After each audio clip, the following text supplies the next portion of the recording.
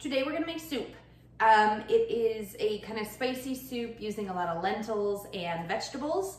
You can use fresh vegetables, you can use frozen vegetables, and this is the kind of soup where um, you um, can kind of throw in, it's like a kitchen sink soup. So you want some lentils for protein, you want to use low sodium vegetable stock if you're being heart healthy, and then you um, use any vegetables you have in the fridge and the freezer. Um, anything goes, mushrooms, um, frozen cauliflower, whatever you want to do.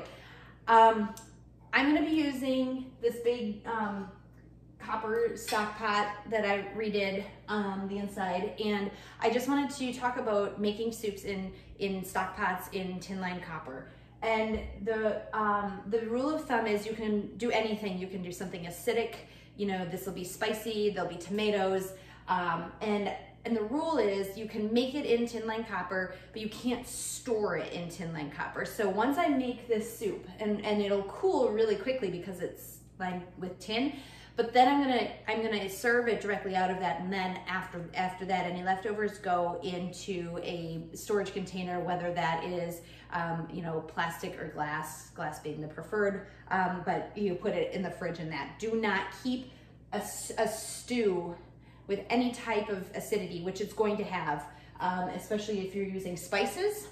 Um, and especially if you're using tomatoes, but my general rule of thumb is you don't store any soup in a um, copper pot that's lined with tin.